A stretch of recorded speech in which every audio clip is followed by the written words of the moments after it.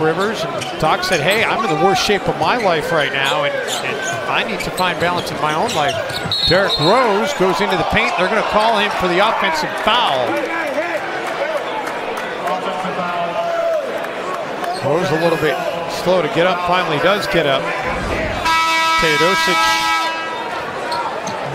established position, got pushed out of the way. By the way, Thibs was asked during his own health pregame tonight.